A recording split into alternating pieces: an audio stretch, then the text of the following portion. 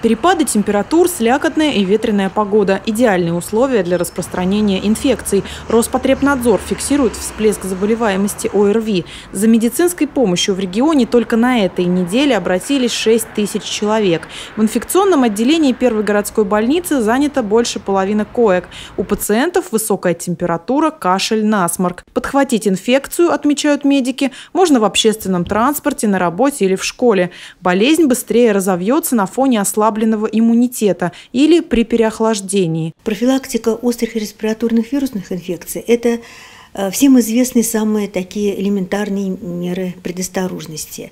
Это как можно меньше бывать в помещениях с большим количеством народа. Если в семье имеется пациент, у которого имеются катаральные явления, кашель, насморк, боли в горле, желательно носить маску. Э, ну, конечно, обязательно проветривать помещение, делать влажную уборку, употреблять в пищу как можно больше э, продуктов, содержащих витамин С. ОРВИ – это острые респираторные инфекции, которые вызывают поражение верхних дыхательных путей. По лабораторным данным, сейчас в Иванове циркулируют вирусы парагриппа, аденовирусы, риновирусы.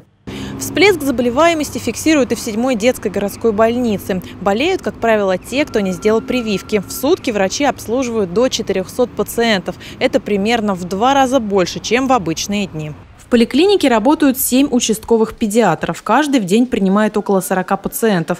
Плюс вызовы на дом. Родители предпочитают перестраховываться и при первых же симптомах заболевания обращаются к медикам. Но панику наводить не нужно. Мы, конечно, призываем, чтобы они обращались с высокой температурой. Но дети до двух лет это однозначно вызов на дом. И до выздоровления на дому врач наблюдает.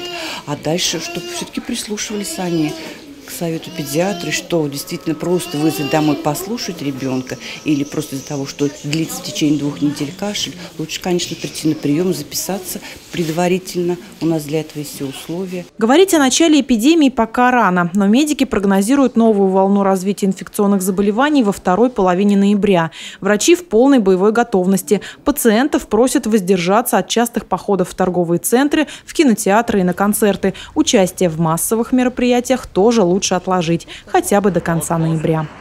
Мария Смирнова, Антон Осипов, РТВ Иванова.